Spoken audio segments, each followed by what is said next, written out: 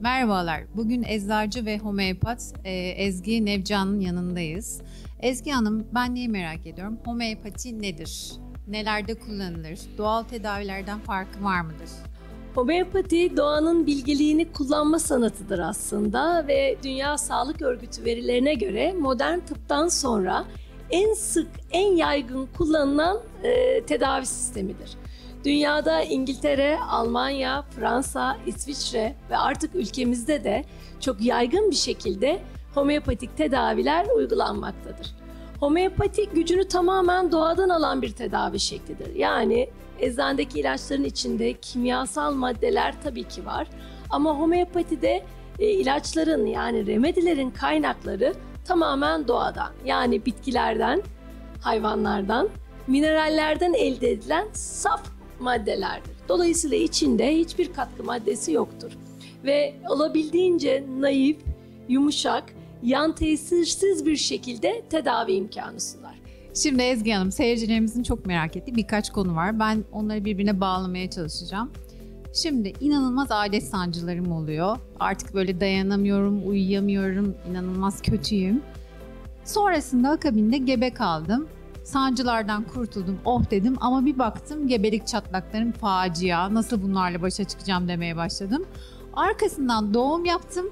Eyvahlar olsun bebek gazından maalesef hiçbirimizin uykusu kalmadı. Bunlarla nasıl başa çıkacağız?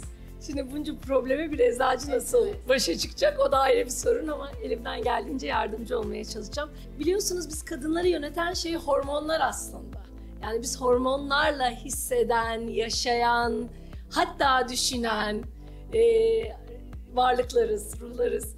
Dolayısıyla hormonlar bizi yönetiyor ve saydığınız sorunların büyük bir bölümü aslında hormonal değişimlerden dolayı oluyor. Mesela adet sancılarımızın olmasının sebebi her ay düzenli periyotlarda e, rahmin kanı pompalamak ya da dışarı atmak üzere sürekli kasılıp gevşeme hareketi yapması. Biriken kanın vücuda atın, dışarı atılabilmesi için sürekli kasın kasılması gerekiyor. Rahim duvarının kasılması gerekiyor. Tabii bu meyanda da adet sancıları ne yazık ki özellikle ergenlik döneminde e, genç kızlarımızın ilk bu periyoda geçtiği dönemlerde periyot oturana kadar biraz daha sancılı gidiyor. Biliyor musunuz Arzu Hanım bunda çok önemli bir şey var. Beslenme aslında adet sancılarının ya da saydığımız bu menstrüel ağrılarında çok etkin bir rol oynuyor. Bunun dışında ne yapabiliriz? Yine adet sancıları için söylüyorum. Çok basit. Evimizde sabit bir yağın içine bu kalendula yağı olabilir. Tercihen ben kalendula yağını çok seviyorum. Herkesin kolaylıkla e, tedarik edebileceği lavanta, lavanta yağı ve gene ada çayı yağı. E, kalendula yağının içine bir damla lavanta, bakın sadece bir damla lavanta ve bir damla da ada çayı damlatıyoruz. Sadece bir damla. Ve sonra hazırladığımız karışımı şöyle çok biraz karıştırıyoruz.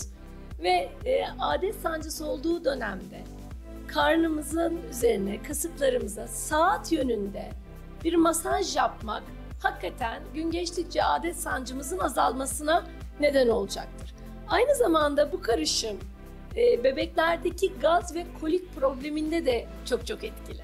Peki gebelik çatlaklarımız için ne yapacağız Ezgi Hanım? Evet, ve gebelik çatlakları hakikaten kadınların çok önemli bir problemi. Sadece gebelikte değil aslında. Ergenlik döneminde az önce bahsettiğim ya Arzu'nun gene hormonların devreye girmesi etkiliyor. Yani östrojen hormonu hakikaten bombastik bir hormon.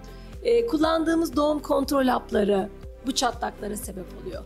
Hızlı kilo alıp vermek bu çatlaklara sebep oluyor. Vücuttaki kolajen dengemizin düzgün olmaması bu çatlaklara sebep oluyor. Bir de bir şey daha belirtelim Ezgi Hanım. Ada çayını adet sancıları döneminde kullandık ama asla yap, yapılmaması gereken bir dönem var. De kullanmıyoruz.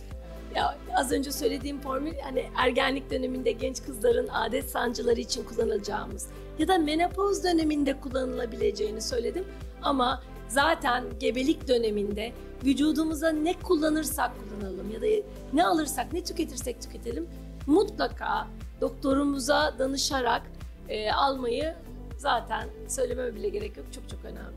Teşekkür ederim Ezgi Hanım.